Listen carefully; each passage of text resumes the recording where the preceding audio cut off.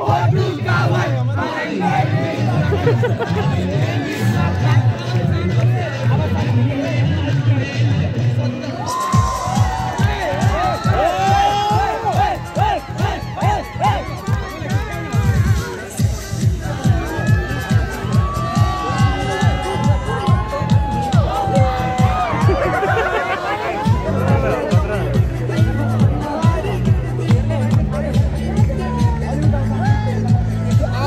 हुन्छ नि मान्छे टाउको हिँड्दैन